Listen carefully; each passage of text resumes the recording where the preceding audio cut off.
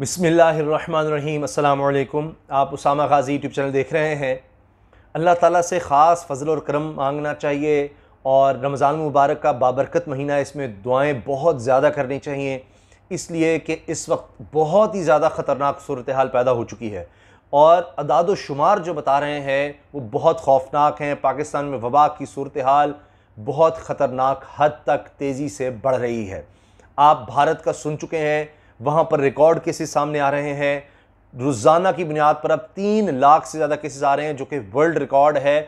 اسی طرح سے آپ دیکھیے، پاکستان میں بڑی خطرناک صورتحال ہے۔ ابھی بھارت سے بہت بہت کم کیسز ہیں، یہ اللہ کا فضل و کرم ہے۔ مگر آپ یہ دیکھیے کہ پاکستان میں ایک دن میں ایک سو ستاون لوگ جاں باق ہوئے ہیں۔ اس وبا سے یہ جب سے وبا آئی ہے، پاکستان میں ایک دن میں سب سے زیادہ تعداد ہلاکتوں کی ایک ریکارڈ بن گیا ہے۔ یہ بہت خوفناک ہے۔ کیونکہ دیکھا گیا ہے کہ یہ جب پھیلتا ہے تو یہ ایک سے دوسرے کو آگے بڑھتا ہے، تو اس لحاظ سے یہ بڑا خطرناک ہے کہ جب سے وبائی پاکستان میں اتنی ہلاکتیں نہیں ہوئیں۔ تو آپ اسی سے سوچ لیجیے کہ آنے والے دنوں میں خدا نخواستہ یہ چیز اگر بڑھ گئی تو پھر یہ نہ ہو، اللہ نہ کرے، اللہ نہ کرے، خدا نخواستہ ہمارے بھارت بھارت والا حال ہو کہ نہ وہاں بیڈز ہیں، نہ وہاں آکسیجن مل رہی ہے وہاں پر شمشان گھاٹ میں جگہ کم پڑ گئی آپ ویڈیوز دیکھ سکتے ہیں۔ کہا جا رہا ہے سڑکوں پر ہی کھیتوں میں لوگوں کو جلایا جائے، جو ان کی آخر رسومات ادا کی جائیں۔ اتنی بری صورتحال ہے کہ لوگوں کو ریفیوز کی جا رہا ہے ہاسپٹل میں۔ سڑکوں پر لوگ مر رہے ہیں۔ ابھی آپ دیکھیے پیمز ہاسپٹل جو اسلام آباد کا سب سے بڑا ہاسپٹل ہے، وہاں پر جگہ ختم ہو چکی ہے۔ آکسیجن کا نظر آ رہا ہے کہ نوے فیصد تک آکسیجن استعمال ہو رہی ہے۔ اور اگر خدا نخواستہ ضرورت زیادہ پڑتی ہے تو سسٹم میں اتنی زیادہ گنجائش نہیں ہے۔ کئی جگہوں پر ہاسپٹلز میں بیڈ فل ہو چکے ہیں۔ انتظامات کیا کیے جا رہے ہیں؟ این سی او سی کی طرف سے اب کہا جا رہا ہے کہ اب غور کیا جا رہا ہے کہ مکمل لاک ڈاؤن لگا دیا جائے۔ یعنی پبلک ٹرانسپورٹ، مارکیٹس اس طرح سے دکانیں، یہ سب بالکل بند کر دی جائیں۔ اور اسی لیے فوج کو طلب کر لیا گیا ہے۔ اور اسلام آباد میں فوج آ چکی ہے۔ ساتھ یہ احکامات بھی جاری کر دیے گئے ہیں کہ فوج، رینجرز، ایف سی، یہ سب جس وقت صبح حکومتیں بلائیں آ سکتے ہیں، تو سٹینڈ بائی پر ہیں، تو فوج کو طلب کرنا یہ اس وقت صورتحال کی سنگینی کی طرف اشارہ کر رہا ہے کہ ڈسپلنڈ ایک فورس ہے، وہ آئے گی تو یقینی بنائے گی کہ احتیاط کی جائے۔ اچھا اس پر اب تنقید بھی شروع ہو گئی ہے کہ جی فوج کو کیوں بلایا گیا ہے؟ احسن اقبال صاحب نے کہا ہے کہ جی دیکھیں بیماریوں کے دور میں دیگر مسائل تھے تو پہلے ہم نے سول یعنی جب نون لکھا دور تھا تو سویلین جو بھی ادارے تھے وہ کام کر لیتے تھے۔ اس دور حکومت میں تحریک انصاف عمران خان کے دور میں تو آپ کو نالوں کی صفائی کے لیے فوج کو بلانا پڑتا ہے، آپ کو ٹڈی دل کے لیے بھی فوج کو بلانا پڑتا ہے۔ تو وہ جہاں بھی فوج بلائے تو ان کو تنقید یاد آ جاتی ہے۔ مگر میں گزارش کر دوں کہ نون لیگ کے دور میں بھی اگر سیلاب آتا تھا تو فوج کو بلایا جاتا تھا۔ اور ابھی بھی آپ دیکھ لیں، سب سے زیادہ بڑی مثال کس کی دی جاتی ہے؟ نیوزی لینڈ کی بڑی مثال دیتے ہیں جی۔ وہاں پر بڑے اچھے طریقے سے جی اس کا وبا کے لیے یعنی انتظامات کیے گئے وبا کے حوالے سے۔ تو نیوزی لینڈ میں بھی فوج بلائی گئی، برطانیہ میں فوج بلائی گئی، یو کے میں، افریقہ میں، دیگر کئی ممالک ہیں جہاں پر فوج بلائی جن کو آپ ترقی یافتہ سمجھتے ہیں۔ تو یہ اب معاملہ ہی ایسا ہے، اتنی خطرناک صورتحال ہے کہ مختلف جگہوں پر فوج کو بلانا پڑا۔ مختلف ممالک جو ترقی یافتہ ترین ممالک سمجھے جاتے ہیں، جن کی مثالیں دی جاتی ہیں۔ ابھی جو داد و شمار ہیں، اس کے بارے میں فواد چودھری جو وزیر اطلاعات و نشریات ہیں، وہ کیا کہہ رہے ہیں کہ اگر ایک ہفتے کے اندر اندر صورتحال بہتر نہیں ہوتی تو مکمل لاک ڈاؤن لگانا پڑے گا ایک ہفتے کے اندر اندر۔ چونکہ میں نے جس طرح آپ سے عرض کیا کہ ہلاکتوں کا ریکارڈ پاکستان میں پہلے ہی بن چکا ہے، ایک سو ستاون ایک دن میں چوبیس گھنٹے کے اندر یہ بہت ہی خطرناک صورتحال ہے۔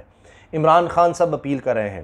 اب حالات یہ ہو گئے ہیں کہ سعودی عرب نے بھی پاکستان اور بھارت سمیت دیگر ممالک پر سفری پابندیاں عائد کر دی ہیں۔ اور بہتر گھنٹے کا وقت دیا ہے، بہتر گھنٹے کی مہلت ہے۔ سعودی شہریوں کو بھی اور اقامہ ہولڈرز کو بھی کہ بہتر گھنٹوں کے دوران واپس سعودی عرب وہ جا سکتے ہیں، لیکن کارگو پروازیں ہوں یا صحت کے شعبے سے وابستہ افراد پر پابندی نہیں ہوگی، ان کو استثناء ہے کہ وہ آ سکتے ہیں۔ باقی سب لوگوں پر پابندی لگا دی گئی ہے، بھارت اور پاکستان سمیت صرف بہتر گھنٹے کا وقت ہے۔ کیوں؟ کیونکہ پاکستان اور بھارت اور کچھ اور ممالک میں یہ جس طرح وبا پھیل رہی ہے، تو سعودی عرب نے اس کے پیش نظر یہ قدم اٹھایا ہے۔ اب آپ سن لیجیے فواد چودھری نے کیا باتیں کی ہیں؟ وفاقی وزیر اطلاعات و نشریات اس وقت کیا صورتحال بیان کریں؟ کتنی خطرناک ہے؟ اچھا اس سے پہلے میں بلاول کے حوالے سے آپ کو بتا دوں، پیپلز پارٹی کہہ رہی ہے کہ مکمل لاک ڈاؤن لگانا چاہیے تھا، ابھی بھی مکمل لاک ڈاؤن لگا دیا جائے تو اتنی بری صورتحال نہ ہوتی۔ مگر سندھ کا اختیار سندھ کی حکومت کے پاس ہے۔ وہ یہاں پر جو انتظامات کرنا چاہیں وہ کر سکتے ہیں۔ این سی سی ان کو تو نہیں روک سکتا، وفاقی حکومت نہیں روک سکتی، تو کم از کم اپنے لیے وہ انتظامات ضرور کر سکتے ہیں۔ تو پبلک ٹرانسپورٹ جو بین الصوبائی ہے، اس پر تو پابندی لگا ہی دی گئی ہے۔ اب فواد چودھری وفاقی وزیر اطلاعات و نشریات نے کہا ہے کہ ایک ہفتے میں معاملات صحیح نہ ہوئے تو مکمل لاک ڈاؤن کا سوچنا پڑے گا۔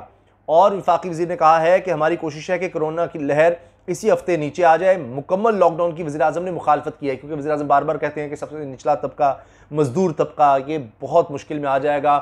روزگار کے مسائل پہلے ہی ہیں۔ تو یہ نہ ہو کہ ہم لوگوں کو وبا سے بچاتے بچاتے غربت سے اور بھوک سے افلاس سے مارنے لگ جائیں۔ پھر انہوں نے یہ بھی کہا ہے فواد چودھری نے کہ آکسیجن کا نوے فیصد زیر استعمال ہے۔ آکسیجن منگوا بھی لیں تب بھی سسٹم میں زیادہ سپلائی نہیں ہو سکتی۔ فواد چودھری نے گورنر ہاؤس میں پریس کانفرنس کی ہے اور کہا ہے کہ بھارت میں وبا نے تباہی مچائی ہوئی ہے۔ وزیر اعظم اور وزیر خارجہ نے بھارتی عوام کے لیے نیک خواہشات کا اظہار کیا ہے۔ دعا ہے بھارتی عوام کو اس تکلیف سے نجات ملے۔ وہاں تو اب یہ بھی ہو رہا ہے کہ اذانیں دی جا رہی ہیں بھارت میں بھی۔ وہاں پر فورسز جو ہیں وہ مسلمانوں سے دعاؤں کی اپیل کر رہی ہیں یعنی بھارتی فوج کہہ رہی ہے مسلمانوں سے کہ جی دعا کریں کہ اللہ تعالیٰ اس وبا سے بچا لیں۔ یہ حال ہو گیا ہے کہ اب بھارت جیسے ملک میں بھی اب مسلمانوں سے وہ کہہ رہے ہیں کہ جی آپ دعا کریں، آپ دعا کریں، اندازہ لگائیے۔ اچھا اب کراچی میں فواد چودھری نے کہا ہے کہ جی کیسز کم ہونے کی وجہ سے سپلائی لائن بحال ہے۔ اموات میں بہت اضافہ ہو رہا ہے۔ ایس او پیز پر عمل درآمد کے لیے فوج کو بھی طلب کریں گے۔ ایس او پیز پر آبادی ایس او پیز پر آبادی اکیس فیصد عمل کر رہی ہے۔ آبادی کا ستتر فیصد جو وبا ہے وہ شہری علاقوں سے پھیل رہی ہے۔ اور اس کے علاوہ انہوں نے کہا کہ خیبر پختونخوا میں پریشان کن صورتحال ہے جہاں شرح چالیس فیصد تک پہنچ گئی ہے یعنی چالیس فیصد تک یہ پھیل رہا ہے۔ یہ مرض۔ مریم نواز نے کراچی کا دورہ ملتوی کیا جو اچھی پیش رفت ہے۔ الیکشن کمیشن کو بھی وبا کی صورتحال میں الیکشن ایس او پیز بنانی چاہیے۔ بھارت میں پھیلاؤ کی ایک بڑی وجہ مودی کی الیکشن مہم ہے۔ اور پھر انہوں نے کہا ہے کہ جی ترابی اور عید کے اجتماعات کو ایس او پیز میں رکھنا اہم ہوگا۔ اس معاملے میں علماء ہماری قیادت اور رہنمائی کریں۔ سندھ میں بھی صحت کارڈ لانا چاہتے ہیں۔ تمام صافیوں کو وزیر اعظم ہاؤسنگ اسکیم میں شامل کریں گے۔ بدقسمتی سے سندھ حکومت نے صحت کارڈ میں اپنا حصہ نہیں ڈالا۔ پھر فواد چودھری نے کہا کہ صحافیوں کو خصوصی پیکج کے تحت صحت کارڈ میں لا رہے ہیں تنخواہ دار طبقے پر دباؤ آیا ہے، کم کرنے کی کوشش کر رہے ہیں۔ اور پھر انہوں نے دیگر باتیں کی ہیں کہ کالدم تنظیم والے معاملے پر اپنی ریٹ پر سمجھوتا نہیں کیا۔ اپوزیشن اس معاملے پر سیاست نہ کرے، زیادہ تلخی پاکستان کے لیے اچھی نہیں ہے۔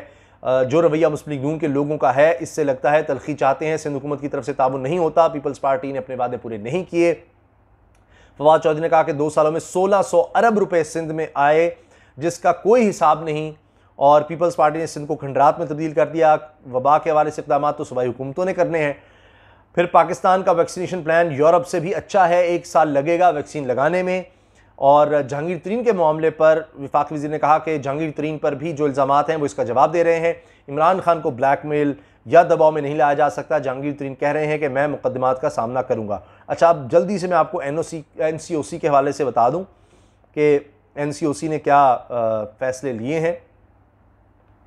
اس میں بتایا جا رہا ہے، وفاقی وزیر اسد عمر نے کہا ہے کہ وائرس کے یہ ویکسین کی ویکسین سائنو فارم کی پانچ لاکھ ڈوزز آج اسلام آباد، آج پاکستان پہنچ جائیں گی یعنی اب دس لاکھ کا کہا جا رہا ہے، وہ پاکستان آ رہی ہیں۔ اس کے علاوہ این سی او سی اجلاس میں وبا کے پھیلاؤ والے شہروں میں لاک ڈاؤن کی تجاویز پر غور کیا گیا ہے اور ان کی زیر صدارت، اسد عمر کی زیر صدارت این سی او سی کا اجلاس ہوا، جس کا اعلامیہ جاری کیا گیا۔ اور اعلامیہ کے مطابق markets shopping malls public transport اور تعلیمی ادارے مکمل بند کرنے کی تجاویز زیر غور ہیں، اس پر غور کیا جا رہا ہے۔ اور اس میں بریفنگ میں بتایا گیا کہ اور ڈوزز آ رہی ہیں سائنو فارم کی، پانچ لاکھ۔ پھر یہ کہا گیا ہے کہ جہاں جن شہروں میں زیادہ پھیلاؤ ہے، وہاں لاک ڈاؤن کی تجویز پر غور ہے۔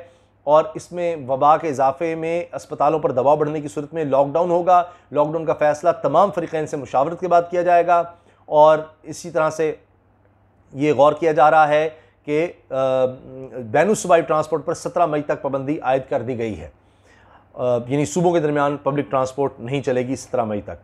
اور پھر یہ بتایا گیا ہے کہ ساٹھ سال سے زیادہ عمر کے شہریوں کی واک ان ویکسینیشن کی سہولت دینے کا فیصلہ کیا گیا ہے۔ ساٹھ سال سے جو ہیں، بس آئیں، ان کو رجسٹریشن کی بھی ضرورت نہیں ہے۔ بس آئیں سینٹرز پر اور اپنے آپ اپنے آپ کو ویکسین لگوائیں۔ پھر انہوں نے کہا کہ آکسیجن کی سپلائی کے حوالے سے تفصیلی بریفنگ دی گئی۔ کیسز میں اضافے کے پیش نظر چھ ہزار نو سو ایک بستروں کا اضافہ کیا گیا ہے۔ آکسیجن سپلائی کی بھی سخت مانیٹرنگ کی جا رہی ہے۔ دو ہزار آٹھ سو گیارہ آکسیجن بیڈز، چار سو اکتیس وینٹیلیٹرز اسپتالوں کو فراہم کیے جائیں گے۔ اور اعلامی کے مطابق بین الصوبائی ٹرانسپورٹ سترہ مئی تک دو ہفتے یعنی سترہ مئی تک ہفتے میں دو دن ہفتہ اور اتوار کو بند ہوگی۔ تو جناب، یہ لیٹسٹ اپڈیٹس ہیں جو میں نے چاہا میں آپ سے شیئر کر دوں۔ اور جو ڈیلی کی اپڈیٹس ہیں وہ میں آپ کو پہلے بتا چکا ہوں۔ کہ پاکستان میں چوبیس گھنٹوں میں ریکارڈ کیسز سامنے آئے ہیں، پاکستان میں پہلے ایسا نہیں دیکھا گیا۔ آخر میں میں عرض کر دوں کہ ماہرین یہ کہہ رہے ہیں کہ اگست اور ستمبر میں دیکھا گیا تھا کہ بھارت میں بہت زیادہ کیسز ہوئے تھے۔ اور اس کے بعد پھر نومبر، دسمبر میں پاکستان میں اسی طرح سے کیسز بڑھے تھے۔ اب بھارت میں، چونکہ وہاں پر ریکارڈ کیسز اور اتنی صورتحال خراب ہے تو یہ کہا جا رہا ہے، خدشہ یہی ہے کہ پہلے کی طرح، اسی طرح پہلے وہاں پر وبا زیادہ پھیلی تھی اور پھر پاکستان میں۔ تو یہی وقت ہے کہ سخت اقدامات اٹھائے جائیں۔ تو خدا را احتیاط کیجیے، دعائیں کیجیے کہ اللہ تعالیٰ سب کو اس وبا سے بچائیں، اس کا جلدی خاتمہ کریں۔ صورتحال بڑی خطرناک ہے۔ اجازت دیجیے، اللہ حافظ۔